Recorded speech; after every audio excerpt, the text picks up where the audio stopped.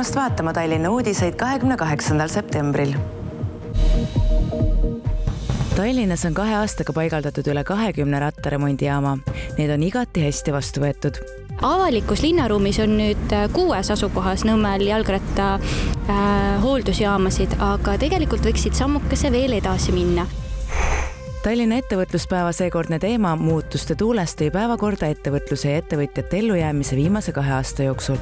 minu arust äh, see koroonaaeg praegu aitas seda, et ta sundis meid tegema tohutu hüppe digitaalsetele lahendustele täna kaheksateistkümnendat korda toimunud Tallinna ettevõtluspäev on iga aasta kokku toonud umbes kolm tuhat inimest ja korraldajate sõnul on see uute ideede jagamise koht. selle aasta teemaks on muutuste lainel. teemavaliku ajendiks on olnud viimase kahe aasta jooksul ettevõtluses toimunud suured pöörded muutuste lainel oli seekordse Tallinna ettevõtluspäeva teema, sest ettevõtjad on olnud sunnitud oma tegevuse ja turundusstrateegiad üle vaatama, et koroona tingimustes ellu jääda. ringmajandusvaldkonnas tegutsevale uuskasutuskeskusele on kriisiperiood andnud tõuke nii kogumismajade paigaldamiseks üle Eesti kui ka e-poe avamiseks. alati igas äh, kriisis on ka võimalusi, noh nii oleme ka meie üritanud siis leida neid uusi lahendusi, et kuidas siis uues olukorras hakkama saada. ka mujal maailmas tuntus kogunud saunade ja majade tootjale iglupark on kriis hästi mõjunud, sest inimeste koju jäädes kasvas ka nõudlus majade järele. mingil hetkel meil tekkis kiire otsus, et kas nüüd või mitte kunagi ja siis panustasime hästi tugevalt turundusse tegime väga suured turundusinvesteeringud ja, ja, ja tundus, et see oli nagu õige otsus, et inimesed olid tõesti kodudes ja siis kuidagi ma ei tea, ma arvan, et see mõttemall ja kõik see nagu muutus minu arust äh, see koroonaaeg praegu aitas seda, et ta sundis meid tegema tohutu hüppe digitaalsetele lahendustele e. e-poed, kojuvedu, hübriidkoolitused või online koolitused ja kohtumised ja kaugtöö. kõike seda see tänane koroonaaeg toetas kõvasti, aga ma ei ole kindel, et see on see, mis jääb. Tallinna ettevõtluspäeva eesmärk on pakkuda ettevõtjatele võimalus kogemuste vahetamiseks, sest Tallinn on endiselt koht, kuhu on kogunenud suurem osa kogu piirkonna ettevõtlusest. ettevõtjad otsivad siit inspiratsiooni, otsivad äh, teiste, teiste näiteid, praktilisi kogemusi, sellepärast et äh, meie partnerid, kes selle päeva jooksul üritusi korraldavad, näitavad äh, ettevõtlust väga erinevate nurkade alt. tegelikult meie ju põhiline sõnum on see, et tallinlased on ka täna no üsna ettevõtlikud, aga et seda ei ole kunagi nagu liiast, on ju, et õhutada sellist ettevõtlikku vaimu, utsitada takka inimesi julgema võtta ette. kolmekümnendal septembril tunnustatakse aga Tallinna tublimaid ettevõtteid ja ettevõtluse arendajaid ning antakse üle tänavused Tallinna ettevõtlusauhinnad Balti jaama ehitustööde tõttu jätkuvad rongide sõiduplaani muudatused alates neljapäevast, kolmekümnendast septembrist kuni pühapäeva, kolmanda oktoobrini. idasuunal jääb kehtima praegune sõiduplaan ning reisid on endiselt asendatud bussidega Tallinn-Kitseküla või Tallinn Ülemiste vahel. edelasuunal kehtib edaspidi muudetud sõiduplaan, kus rongid sõidavad Tallinn-Väikseni ning bussiga teenindatakse reisijaid Tallinna ja Tallinn-Väikse vahel lääne suunal on jätkuvalt käigust ära üksikud Tallinna ja Päästküla vahel sõitvad rongid. reisijad saavad kasutada Keila, Kloogaranna, Paldiski, Riisipere ja Turba ronge, mis kõik sõidavad tavapärase sõiduplaani alusel korterite üürihinnad Tallinnas on väga kõrged ning see on üheks põhjuseks, miks medtöötajad tihtilugu välismaale tööle suunduvad. et motiveerida neid siiski jääma, rajas linn kahe tuhande viieteistkümnendal aastal Akadeemia teele soodsa üürihinnaga arstide ja õdede maja täna on seal kõik korterid hõivatud ning uusi huvilisi tuleb aina juurde kahe tuhande viieteistkümnendal aastal avatud Arstide ja Õdede Maja Akadeemia teel on koduks üheksakümne viiele Tallinnas töötavale meedikule.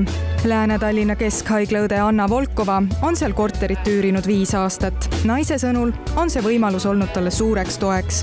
no soovitan ikkagi need inimesed, kes soovivad siin äh, majas ikkagi korterit saada, et ikkagi esitada seda avalduse ja minna selle järjekorda, järjekorda ja ikkagi mõelda ja oodata kui teil ei ole võimalust äh, siin nagu üürida korterit, ikkagi proovige esitada seda avaldus, äkki te saate korteri ja siis teie elu on lihtsam. Tallinnas ühetoalist korterit naljalt alla kolmesaja euro üürida ei saa. arstide ja õdede majas maksab üks ruutmeeter kolm eurot. ühetoalise korteri kohta teeb see koos kommunaalidega kokku vaid sada kolmkümmend eurot kuus ma arvan, et tänu soodsale elamispinnale on nii mõnigi meedik jätnud Soome minemata korterite vastu tuntakse elavat huvi. hetkel ootab järjekorras nelikümmend üheksa medõde.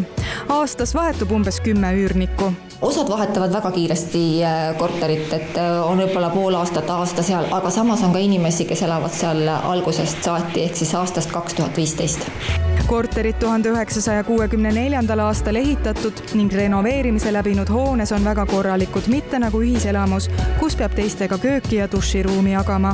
nii mõnegi meediku jaoks võimaldab elamine arstide ja õdede majas säästa raha päris oma kodu soetamiseks linn veab rohelise õue projekti juba aastast kaks tuhat kolmteist. viimase kaheksa aastaga on paljud korteriühistud saanud linna toel rohelisemaks ja lilleilu juurde. mida korteriühistud on sel aastal korda saatnud, võite alates tänasest vaadata Vabaduse väljaku tunnelis tänavati Vabaduse väljaku tunnelis fotonäitus Roheline õu. kahe tuhande kahekümne esimese aastal oli Tallinna linnas tegutseval korteriühistul võimalik taotleda linna toetust hoovi haljastuse rajamise või korrastamise töödeks. oma maja elanikud on nii tublid, kasvatasid lilli ette ja ja siis valmistasid mulle suure üllatuse, poole suve pealt tulid oma takeetestega ja nüüd meil ongi takeetese kasvatus. no tundub, et, et vähemalt teie inimesed tahavad väga näpud mulda pista, aga kuidas see toetus teile tundub, et on see hea? toetus on väga hea, hea on tõesti, et, et selle raames saab ikka päris suuri asju ära teha meil oli samamoodi ka puudehooldus tehtud ja tavaliselt veel äh, samblatõrje ja sellised ka tänavapuhastused, et aidatakse linn meil puhtamaks teha. lilli pole te istutanud? ei, kahjuks pole veel, mitte kuskil. aga järgmisel aastal, kui me tulevikku vaatame, on plaanis taas osaleda? Osaleda muidugi. kui me kõnnime mööda Tallinnat ringi äh,, igas linnaosas on vastu vaatamas lilleilu ja eks selle rohelise õue mõte, selle toetuse üks mõte ongi see, et äh, nakatada inimesi äh, rohenäpuks sellepärast me näemegi, et kui naaber on oma õue kauniks teinud, haljastanud või lilli istutanud, siis, äh, siis tuleb ju tahtmine endal ka midagi muuta. projekti Roheline õu toetuse eelarve oli nelikümmend tuhat eurot Tallinna rattaremondi võrgustik sai täiendust. Nõmmel paigaldati lisaks varasematele veel kolm rattaremondi kohta. kõik linnas liiklevad jalgratturid võiksid remondijaamade asukohad aegsasti üle vaadata, sest iialgi ei või teada, millal ratas pisiremonti vajab eelmisel aastal alustas Eesti Terviserajad koostöös Tallinnaga rattaremondi kohtade paigaldamist. Need osutusid üsnagi menukaks. ja, ja olen ka kasutanud, et see on igati teretulnud, et, et saab ratast pumbata, seal on mutrivõtmed, nii edasi, et, et see on igati positiivne. meil on Tallinnaga, linnaga näiteks Eesti Terviserajad on teinud väga head koostööd kümmekond aastat just selle nimel, et saaksime sellise ühendava suure kergliiklusteede võrgu luua, et ümber, ümber Tallinna suure ringi, et näiteks täna me olemegi siinsamas eh, otsaga ühel, ühel pool saab minna Järvevana teele kohe-kohe, kui me saame Männiku tee ja Liiva, Liiva raudteejaama tunnelid valmis, teisel pool on Nõmme ja tegelikult juba ka Stroomi rand, et, et meil on selline, et siin nende, sellesama suure ühendava Tallinna ringi ääres on ja kui ka siis terviseradade juures, kus on nagu oluliselt rohkem kasutajaid ja, ja kus on tihe liiklus eelmisel aastal pandi Pirital ja Nõmmel püsti viis esimest punkti. tänavu pani kumbki linnaosa veel kolm juurde. see on aga alles algus. tegelikult tänu sellele hakkaski üle Eesti ka laine pihta, et üle Eesti hakkasid omavalitsused neid tahtma ja neid planeerima ja, ja nendest on nagu päris palju kasu tekkinud. avalikus linnaruumis on nüüd äh, kuues asukohas Nõmmel jalgratta äh, hooldusjaamasid, aga tegelikult võiksid sammukese veel edasi minna. kui me vaatame koolide, just Nõmme koolide sisehoove, siis me näeme, et väga paljud äh, lapsed tulevadki hommikul jalgrattaga kooli ja miks mitte võiks olla näiteks koolidega sisehoovides see jalgrattahooldusjaam olemas, et nad ka seal saaksid vajadusel rehvi täis pumbata, kui selleks tekib vajadus. Merko on neid remondikohti paigaldanud ka uusarenduste juurde ja Tallinnas peaks nüüd olema võimalik ratast remontida paarikümnes kohas rohelise liikumise kuu hakkab lõppema. täna oli võimalik jalutada Kristiines Löwenruu pargis ja nautida sügist. selle juurde kõneldi ka parkide otstarbest ja stiilist Lövenruu pargist alanud loodusmatk kõneles pargi kujunemisloost ning taimede kooslusest. see oli üks osa keskkonnasõbraliku liikumise kuust. matk viib siis teise Kristiine parki, mis on ka ajalooline Cederhelmi äh, parki ja tee peal siis äh, saame vaadata üheskoos äh, ja nautida Kristiine rohelust. Need mõlemad on ajaloolised pargid, mis on omaaegsetest mõisatest jäänud siia järgi.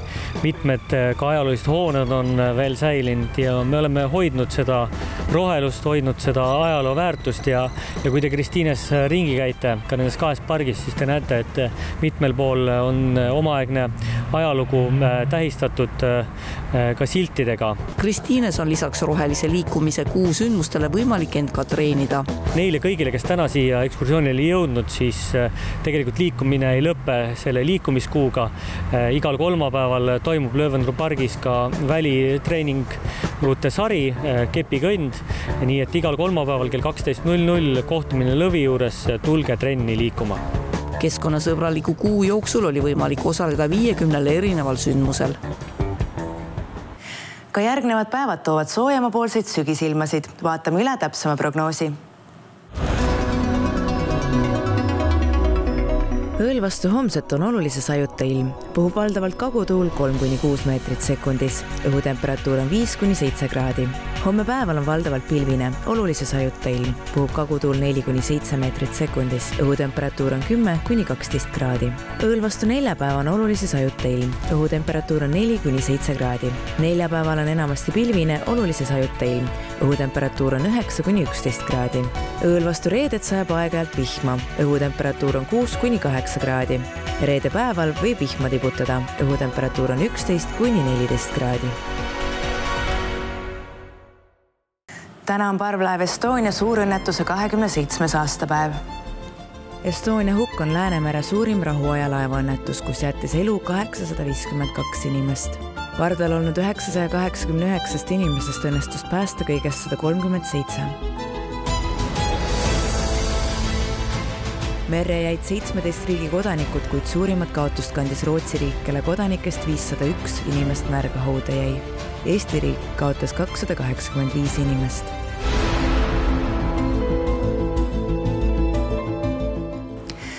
Tallinna uudised tänaseks lõpetavad. tänan, et olite meiega. uudistega oleme taas eetris homme.